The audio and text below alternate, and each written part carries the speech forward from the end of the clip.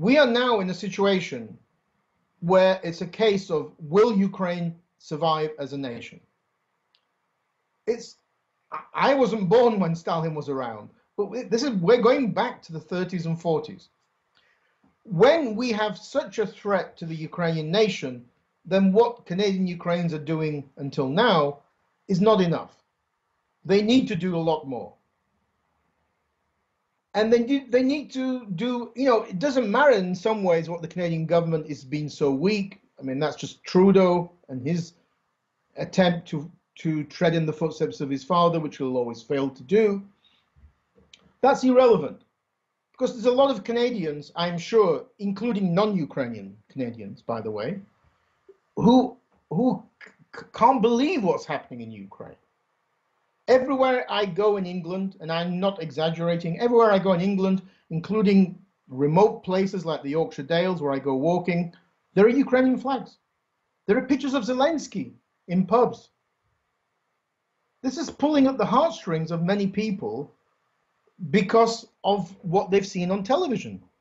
Women and children, um, refugees. I mean, 12 million Ukrainians were displaced half of those internally, IDPs, internally displaced persons, and half as refugees going abroad.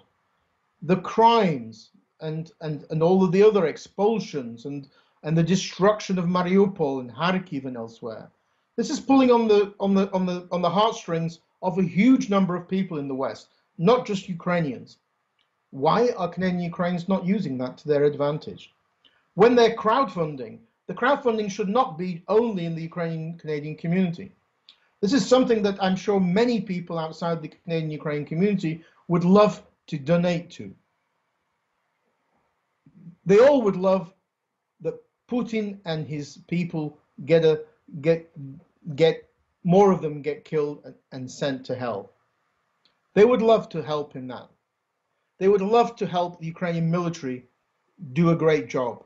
Everybody is stunned at the bravery of the Ukrainian military in the West. Everybody. And all we're doing is trying to help them, trying to help them defend their own country, trying to help them defend their national identity. So let's try to do a lot more than has already been done. It's Canada should be alongside the Scandinavian countries, the Czech Republic, Poland, the Baltic states, and Ukrainians in Ukraine, Canada should be standing alongside them in raising money for these drones, for the expensive Turkish drones and for the other types of drones. There's, a, there's all sorts of potential military activities taking place with the help of Ukrainian volunteer groups.